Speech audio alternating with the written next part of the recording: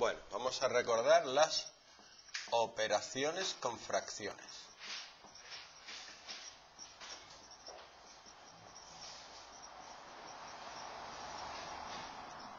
Para estudiar matemáticas en general hay que estudiar procedimientos. Y los procedimientos no vale, como es vuestra táctica habitual y por eso estáis aquí, es hacer las cosas una vez.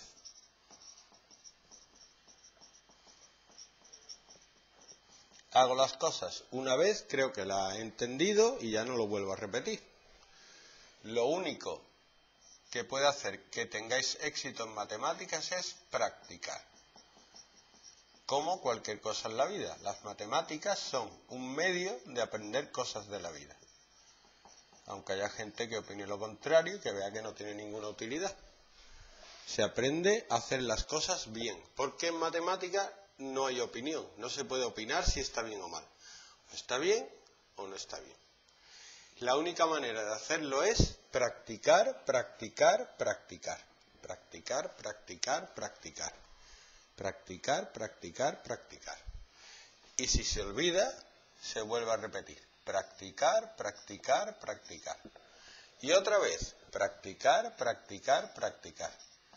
Entonces, es una forma de aprender el valor del esfuerzo.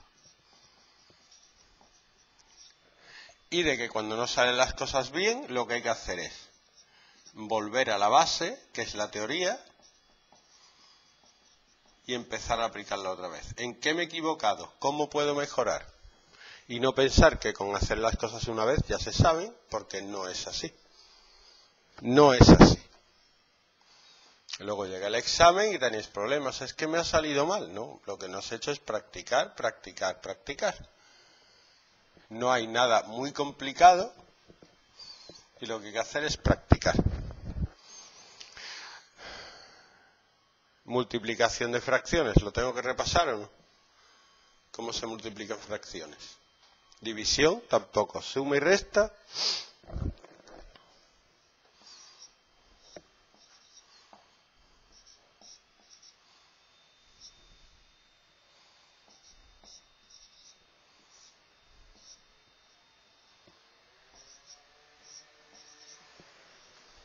Vamos a repasar con esa operación. ¿Qué es lo primero que hay que hacer? Lo que hay dentro del paréntesis. Y dentro del paréntesis, ¿qué hay que hacer? ¿El qué? La precedencia dice que primero multiplicaciones y divisiones y luego sumas y restas. Para multiplicar dos fracciones se hace en línea, dos por una. Dos, tres por cuatro, menos un quinto. Dividido, dos tercios. Ahora, antes de seguir, hay que simplificar. No al final, no en cada paso. No, no, no, no, hay que simplificar. Esto se puede simplificar, hay que hacerlo antes que cualquier otra cosa.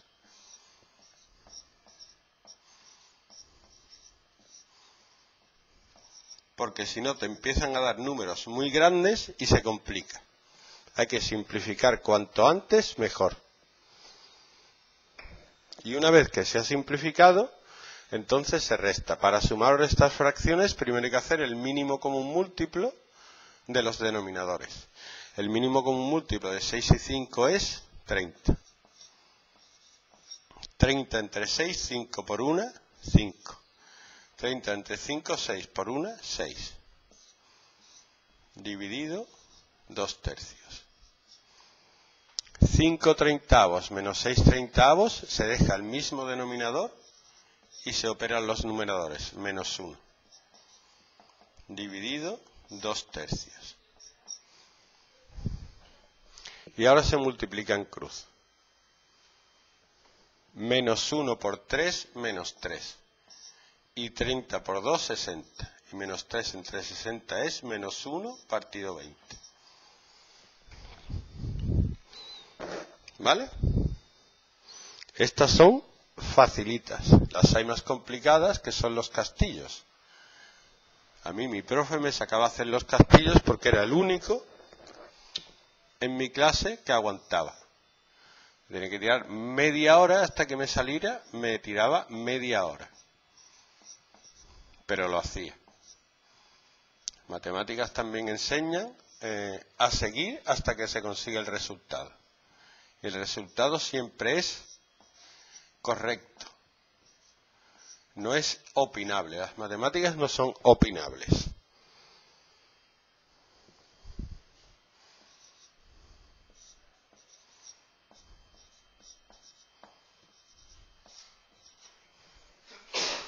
Eso es un castillo. Y se empieza a operar. Primero se hace lo que está dentro de los paréntesis. En el numerador quedaría mínimo común múltiplo de 3 y 4 es 12. 12 entre 3, 4 por 2, 8. 12 entre 4, 3 por 1, 3. Y también enseña el valor de estar tranquilo. Para hacer las cosas bien hay que estar tranquilo no tener prisa, aplicar las reglas poco a poco. 10 entre 5, 2 por 2, 4. 10 entre 2, 5 por 1, 5. Y cuando cometemos errores, la mayoría de las veces es porque tenemos prisa. Y no hay prisa. Si cometes un error, tienes que empezar otra vez. Así que es mejor hacerlo tranquilo, muy tranquilo, ir dando cada paso bien.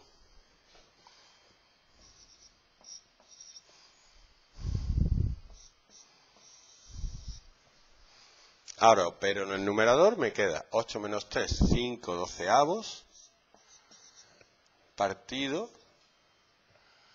9 décimos. Y abajo puedo hacer ya el mínimo común múltiplo, que es 40 40 entre 5, 8 por 2, 16. 40 entre 8, 5 por 3, 15.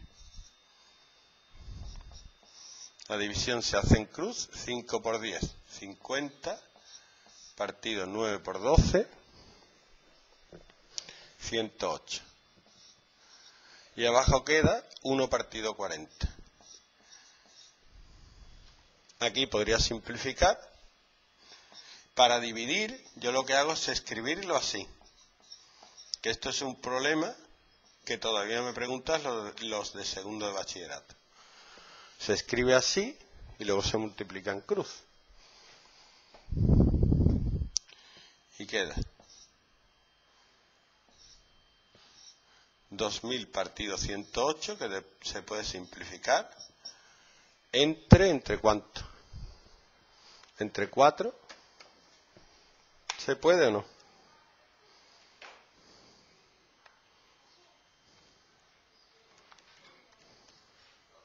Sí. Queda 500 partido 27.